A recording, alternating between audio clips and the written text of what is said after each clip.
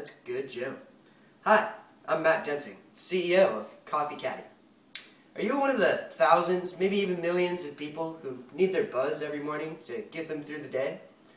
Well, most of the ways are not convenient at all. Our convenient kiosks offer a bold roast with plenty of different sugars and creamers to perfect your personalized coffee without breaking the bank or going out of your way. This overrated hunk of metal right here, a Keurig, will break your bank in the end.